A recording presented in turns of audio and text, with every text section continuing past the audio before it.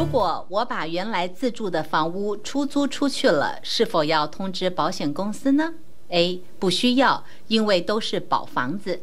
B. 不需要，因为房子一直有人住。C. 需要，因为房屋种类不同。D. 以上皆错。正确答案是 C，需要，因为房屋种类不同。保险公司其实针对不同的住客类型，其实会把房屋保险分成不同的种类：自住屋、出租屋、空屋、度假屋，还有现在很多人都有在经营的 L B N B。所以很多客人都会觉得说：“哎，我房屋保险保的就只是房子，为什么还需要更换这些信息？”这就是原因。而且因为房屋保险虽虽然看起来内容差不多，但其实内在的细节大不相同。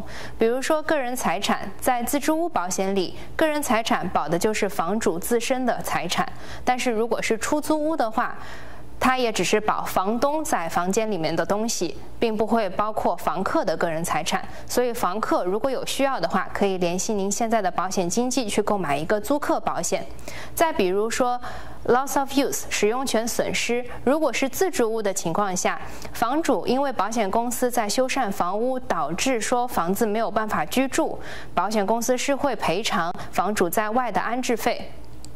但是如果是出租屋的情况下，如果房客因为这种情况没有办法在房子里面住，保险公司是不会赔偿房客的安置费用，保险公司只会赔偿所谓的 loss of rent，也就是房东在这段时间所谓的租金损失。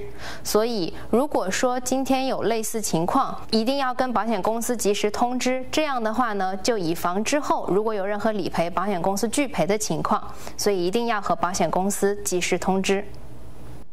华兴保险目标成为加州牙医市场上规模最大的全方位保险经纪公司，而且华兴智多星系列报道专门为在美华人来解答各种保险，也欢迎观众持续锁定。